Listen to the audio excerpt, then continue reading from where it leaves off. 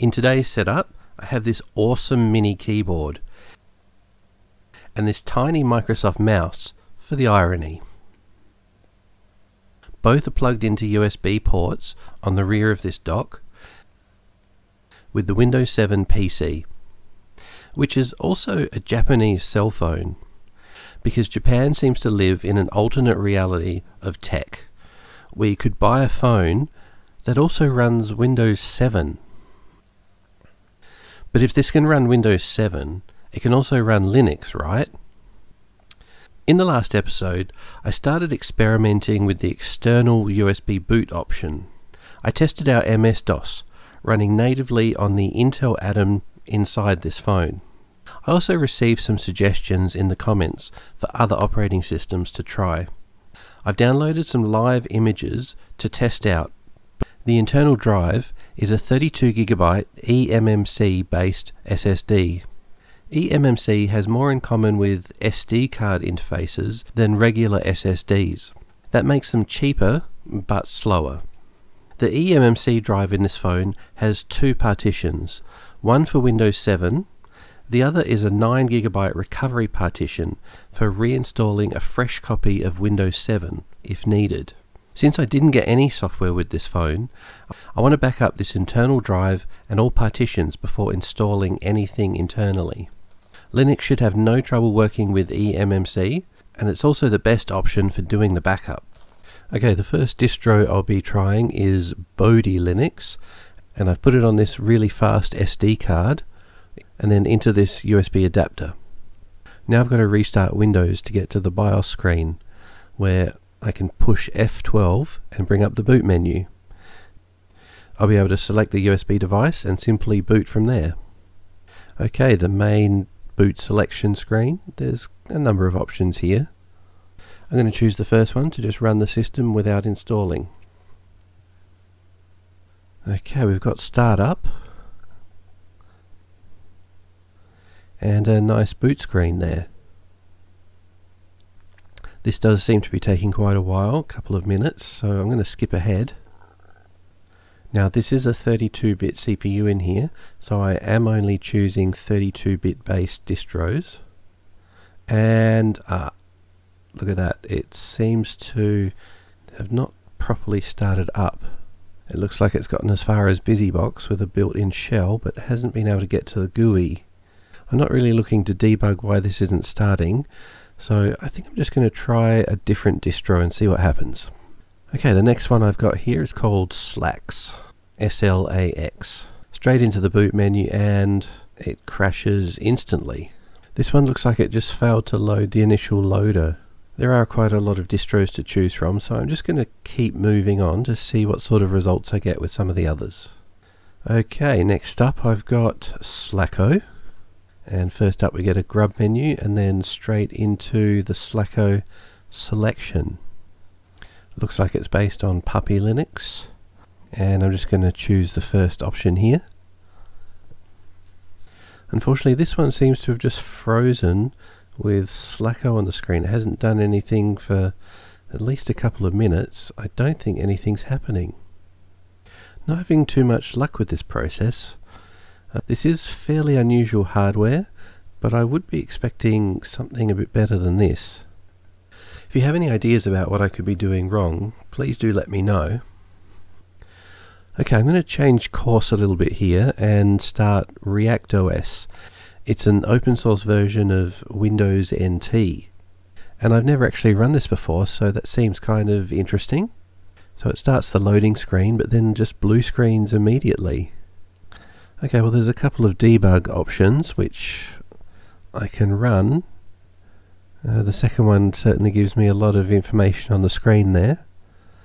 But again, I don't want to put in the effort to try and get this started on this hardware. This is more about experimenting at this stage. Okay, next up I've got Ubuntu Mate, which seems to be a slightly different version of Ubuntu using the Mate desktop. I'll zoom this one ahead so we can find out what happens. Okay, something's happening. Took a while. And we have an initial loading screen.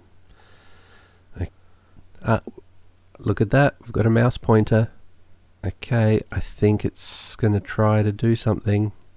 We've got a desktop starting. Okay, finally we're starting to get somewhere. Okay, the initial welcome window is a little bit cut off, but uh, but there's that first option to try Ubuntu Mate, so that's the one I'm going for. Okay, we've got a menu. It's looking pretty good. Uh, oh, the menu seems to have unexpectedly quit. Hmm. This is really quite challenging, this whole thing. Alright, but I'll see what else I can do here. I managed to get the control panel, and of course I want to go straight to display settings. And there is an option to rotate the screen. And there we go, we've got a nice horizontal landscape screen. I think we're starting to get somewhere now. Okay, so I've been playing around with the display settings a little bit, and the touchscreen seems to work, but something else I've noticed is when the display is rotated into landscape mode, the graphics update is a lot slower. It's like when the screen is rotated into landscape, it's no longer using GPU acceleration. Also, the touchscreen doesn't work properly in landscape at all. I guess that's sort of to be expected. I'm only rotating the screen, not the input device. Well, I'm just glad that I'm starting to get some success. Okay, with those tests done, I think it's time to do some backing up. Now, I thought I'd be clever and try Clonezilla which is software that's been designed for doing drive backups, which is exactly what I need. And it's based on Linux. And the first problem is when I start it, it just gets stuck on the Clonezilla title screen.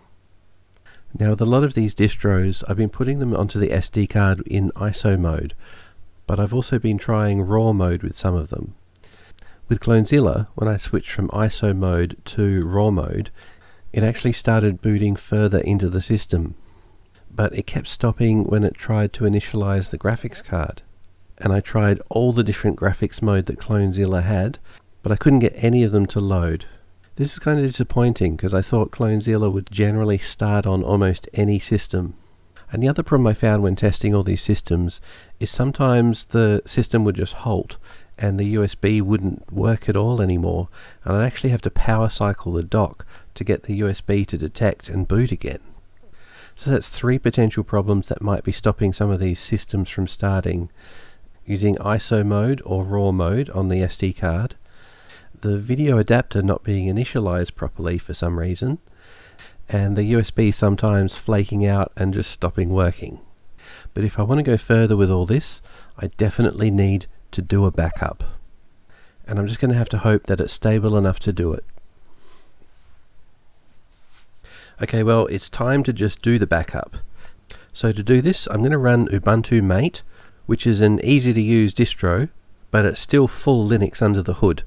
And importantly, I can switch it to a horizontal landscape mode, so I can actually see the screen properly as I'm working. Now I do use Linux sometimes, but not as my main operating system, and I'm checking through the disk utility on Ubuntu, and it is showing all the drives including the MMC and it shows there's two main partitions and one very small one. And so I want to back up that entire drive. And this is interesting. Linux can also see the 32 gigabyte SD card which is in the micro SD slot. Under Windows 7 to access the micro SD slot you have to run this weird special program and enable the slot which then times out after a few minutes if you don't use it so I kind of assumed that the SD slot was actually part of the ARM based phone and Windows had to use some special software to access it. But Linux just seems to mount it and it seems to work fine. So I'm not sure what's going on there. Okay, running the fdisk command, I can confirm exactly how everything's mounted on the system. It looks like the SD card that I'm booting from has a couple of partitions and the main one seems to be read only. So rather than remount that and get it into a writable state, I'm just going to back up the internal drive onto the 32 gigabyte micro SD card. Though it looks like the micro SD card is slightly smaller in capacity than the 32 gig drive that I'm going to back up. So I'm also going to compress the image down as it's backing up. So I've read about everything that I think I'm going to need and I've got a good idea of the syntax so I'm just going to go ahead and do it.